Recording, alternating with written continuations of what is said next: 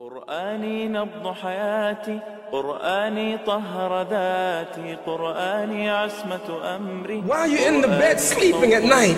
It's a, it's a, it's a blessing. Uh, sleep is a, ble- is a blessing. You're tired and you, and you sleep, and, and some people don't want to get up. But as a Muslim, you have to get up even though you're tired. You have to get up before the sun rises. You have to get your children up. They have to get up.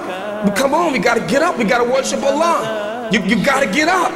You got to get up every day. You got to get up every morning. You got to get up. Come on, you got to get up. You teach them five to six, seven years old. Come on, you got. Where you going? We're gonna worship Allah. Come on, let's get up. So Allah give you food. We had this wonderful food tonight. Wonderful dinner.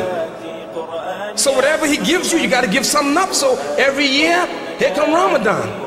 You give up. He, he, he give you food. So I say, okay, Allah, I'm, I'm not going to take everything Ramadan for the whole month. During the daylight hours, I'm going to give it back to you. Allah give you a wonderful, beautiful wife. I Say, Allah, thank you for my wife. I'm going to give it up Ramadan for you. So whatever Allah give you, Allah give you time, then you give back some time to the masjid. Allah gave you a, a mind, a beautiful mind, an intelligent mind.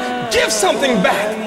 Allah give this young girl beautiful body. She looks beautiful. What she do? She covered up for Allah. She shows her gratitude to Allah. And go back now to the challenge of shaitan. Know what he said? وَلَا تَجِدُوا أَكْثَرُهُمْ شَاكِرُونَ You will not find most of them grateful.